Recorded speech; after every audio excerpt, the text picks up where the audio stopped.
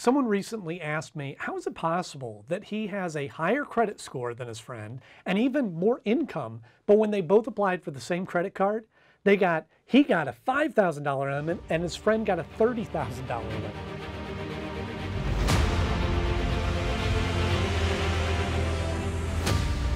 Now, I know this question is on a lot of people's minds because I get asked this a lot. And unfortunately, there's no simple answer. But because I know that so many people have this question, I want to teach you a few great tips we learned over the years on how to up your chances and set up your credit file in a strategic way in order to get approved for high credit limits.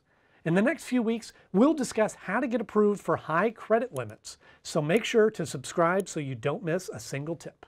Now, the first tip is obvious, but it is very, very important. Keep your credit report clean. Do not carry high credit card balances, which is any balance above 9% of the credit limit. No late payments. People often think, hey, I'm a good boy, I'm just late once in a while. No, no, banks will not trust you with high credit limits if they find here and there late payments on your credit report. Another important thing is not to open new credit cards frequently. The highest limits I usually see go to consumers that did not open any new credit cards within the last two years, but also have a solid credit history of two to three years or even more. So to sum it up, here's what we discussed so far.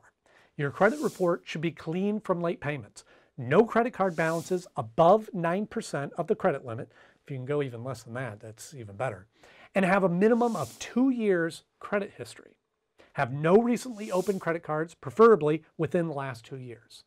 Now, next week, we will dig into some more awesome tips to get you approved for high credit limits. So make sure to subscribe and stay tuned.